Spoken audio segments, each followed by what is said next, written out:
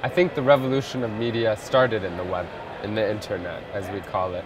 I think it's only natural that um, a platform that allows for anonymity would be where media revolution happens. And I think the reason is because a lot of people don't feel as if they can speak in public life, in real life, you know, in the streets, in coffee shops, even in, you know, maybe government meetings or, you know, government citizen meetings. People don't feel safe. They feel like if they challenge uh, conventional wisdom or they challenge governments, that they're not going to be able to uh, share the truth.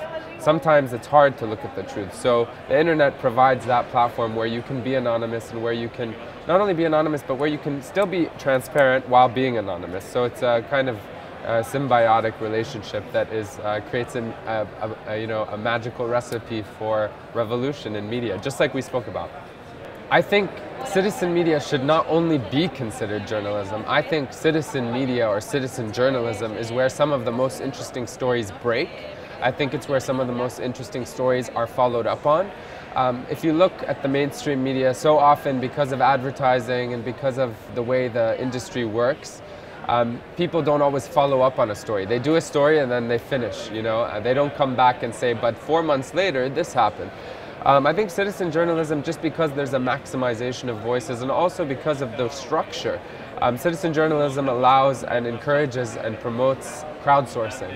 Um, it, it, it breaks the barriers not just between who is producing the media, but who is consuming the media. And the truth is, all journalists who are part of the mainstream media are themselves part of the story, whether they want to admit it or not. Sometimes more so, and sometimes less so. So citizen journalism immediately creates uh, an equal playing field by which anybody can, can tell stories. I mean, there's so many examples, I don't need to give them to you. If you watch any of the footage or the media, even the mainstream media from what's happening in the Arab world right now, you'll find that most of it is sourcing citizen journalists or playing things that citizen journalists um, uncovered. Plus, remember, citizen journalists are everywhere, everywhere in society. So because they're everywhere, they have the upper hand. So I think Al Jazeera is leading the way uh, in a lot, in a large part in terms of the media. But as I said in the panel when we were discussing, Al Jazeera is not doing anything more than amplifying and accelerating voices that we're already hearing. For months, for years, we've had people calling for change, getting on top of the rooftops and uh, shouting Allahu Akbar, Allahu Akbar, uh, so exacerbated with, with their daily lives that Al Jazeera is only amplifying those voices. Um, the New York Times called this moment Al Jazeera's moment. But the truth is, as I said, this isn't Al Jazeera's moment. This isn't my moment or your moment. It's all of our moments because we were talking about citizen journalism and what you can do with it. But I will say, uh, Al Jazeera, I think for a lot of reasons, because of their, their uh, history in the field, because they understand the context in the region, perhaps they're taking brave people and reinforcing their bravery and saying, it's okay to be brave, it's okay to ask for change, and making it so that governments are forced to listen.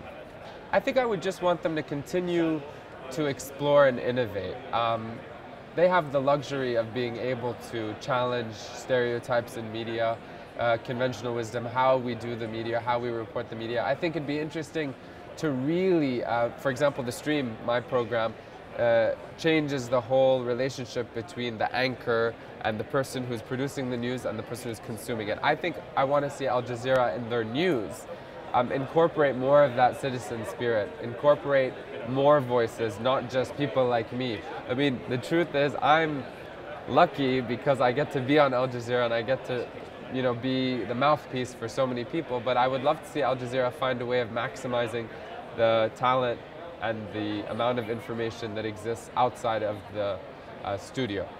I think this initiative, from what I've seen in just two days, uh, is the kind of thing that will only encourage the people who are participating to continue doing what they're doing, whether that means uh, you know, television, media, citizen journalism, or technology, or electrical engineering. I mean, I've seen all kinds of things here, and I'll be honest with you, I've been to many conferences this year, and I haven't yet met um, the kind of people that I've met here. I've met people from Israel, from Palestine, people from Cuba, people from, I mean, you know, it's amazing. You meet uh, people who you probably wouldn't meet anywhere else, and that alone makes it a really great conference.